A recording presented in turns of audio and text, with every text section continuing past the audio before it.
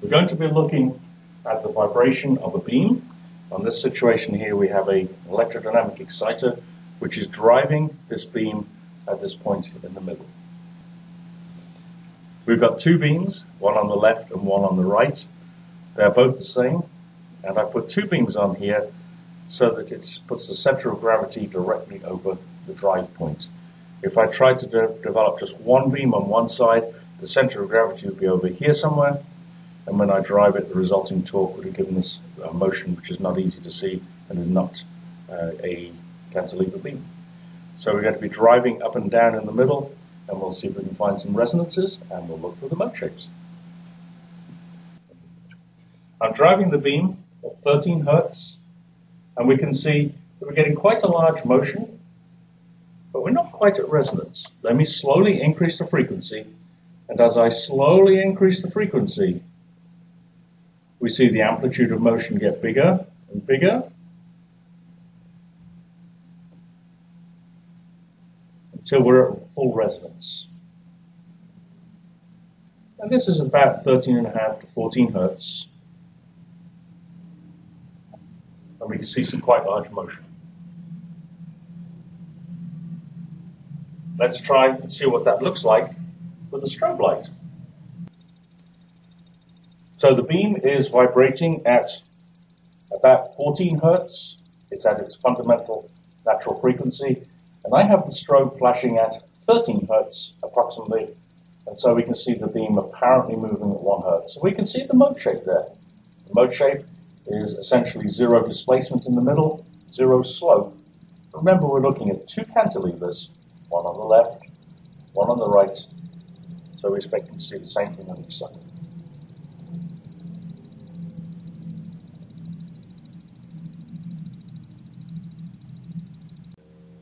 I'm now moving up to the second natural frequency. I'm driving the beam at 77 Hertz, which is just below the second natural frequency. And if I slowly increase the frequency, we'll see the beam motion get larger and larger. It gets into resonance.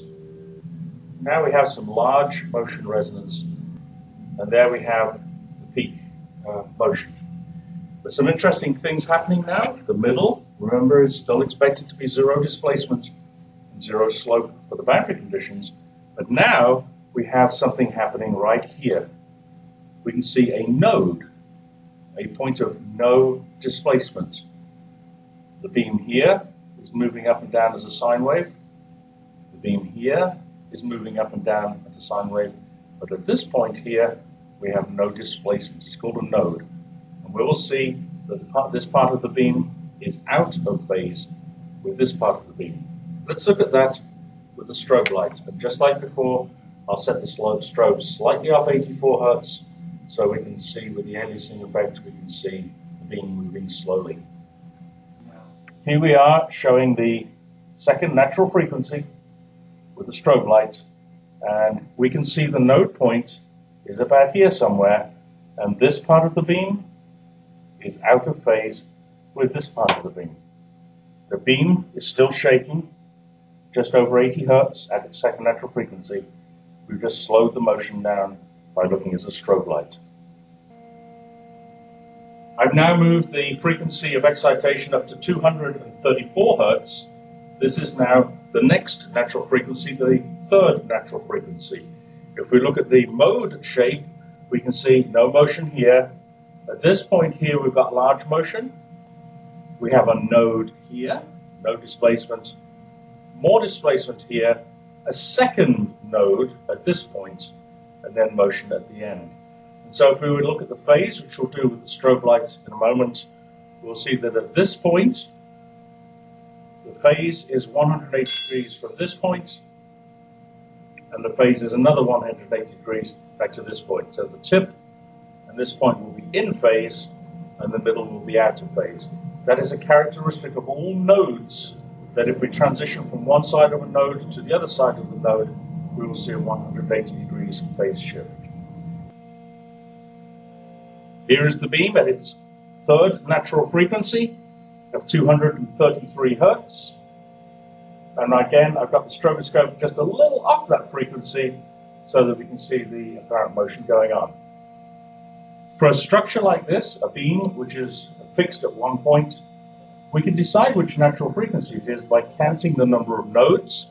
In this case, we have one here, one here, two nodes, and that becomes the third natural frequency. That rule applies for any structure which is fixed, but if we have a free structure, we have a different rule. But essentially, the higher the frequency, the more the nodes.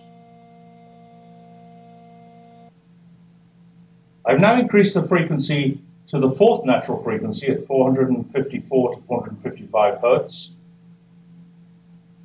And it's difficult for us to see the beam moving.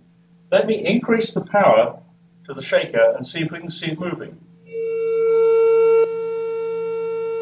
We can just make out a little bit of motion. Here it is at low level,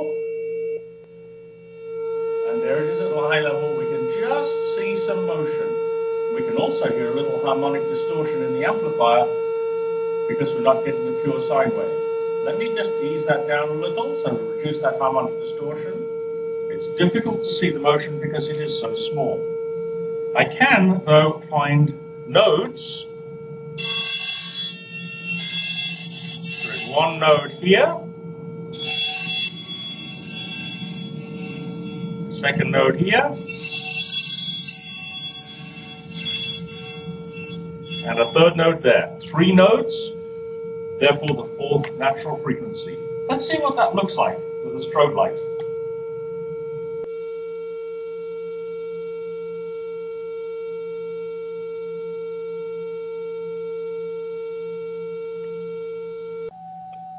I've now increased the frequency up to 752 to 753 hertz, and we are now driving the beam at the fifth natural frequency. The motion's got quite small, although we can hear it, we can't see it. The displacement has gone down as we increased in frequency, while the acceleration went up. If I increase the power to the shaker, like I did last time, I can hear some harmonic distortion, but I still can't get enough displacement for us to be able to see it clearly. But I can still find where the nodes are. Let's see if we can find them. There's one. There's two. The third one. And the fourth one. Four nodes, and therefore the fifth natural frequency. Let's look at a different way that we can find the node lines. What we're going to do is we're going to put some salt onto the beam, sprinkle it along the beam, and then as I turn the power back onto the shaker, we're hoping to see the salt move away from the points that are moving and settle where the node lines are. Here we go.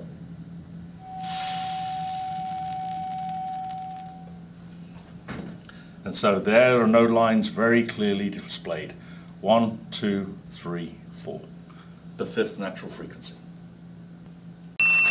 I've now increased the frequency to 2691 hertz and from the noise coming off the beam we can tell we're near a resonance again. But the displacements are very small and we can't see them. Let's try putting some salt on and see what happens.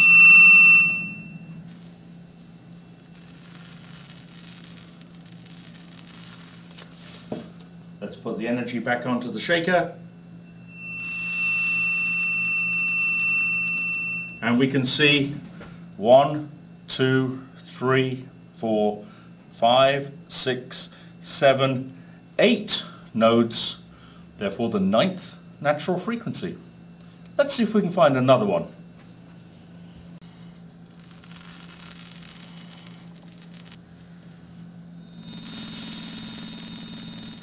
we have one, two, three, four, five, six, seven, eight, nine, ten node lines. Now, the 11th natural frequency.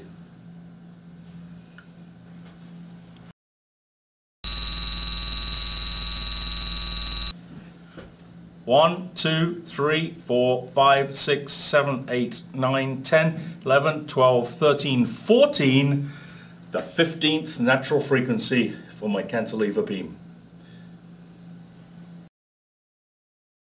Now we're driving the beam at 12.6 kilohertz. Let's apply the power to the shaker, see if we can find the nodal behavior.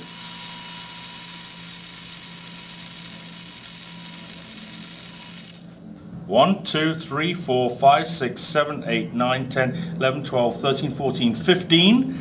It looks like the 16th natural frequency, but now we're getting to such short wavelengths that we're starting to get this kind of behavior here. And look, there's a little node running up the middle. We're actually starting to see this beam act more like a plate. So let's look at some plate modes. We saw on the last beam mode that we were starting to get node lines that were not straight across the beam but starting to move along the length of the beam.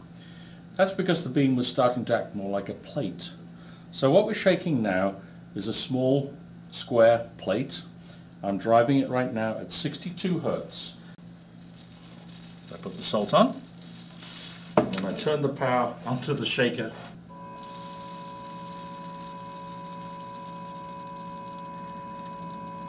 What we're seeing now, instead of getting node points, we're now getting node lines. And in this particular mode, there is a node line running across here, and another node line running across here. But what we're seeing is that actually it looks like a curved node just because of the way the two nodes are pulling together. Let's put a little more salt on, and we'll look for that shape pattern to develop again. So at first it looks like we're getting curved lines in here, but really we can see quite nicely now the two node lines running diagonals across this square plate.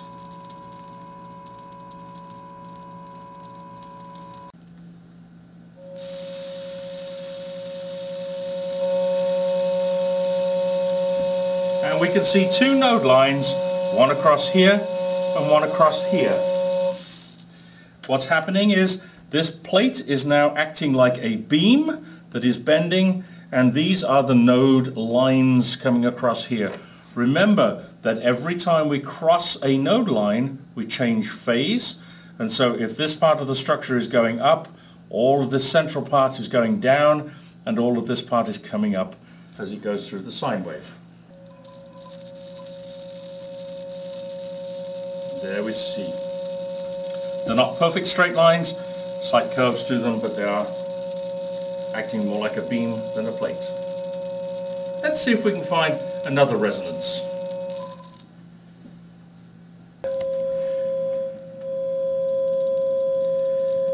What we've found now is we have multiple node lines. Two node lines going across here and here, and in the other direction, two node lines going across here and here a little bit of corner, curling in the corners.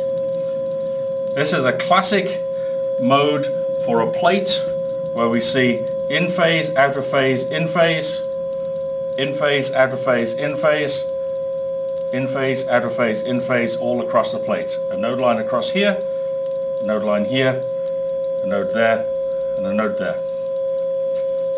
I'm now at 1557 hertz as we increase the frequency, the natural, the mode shapes become increasingly complex and we can see uh, the behavior going on here. It's a symmetric plate, it's square, and so we expect to see a symmetric mode shape. Remember, these are the node lines, the lines of no displacement, and as we transition from one side of a node line to the other, we always see a 180 degrees change in phase.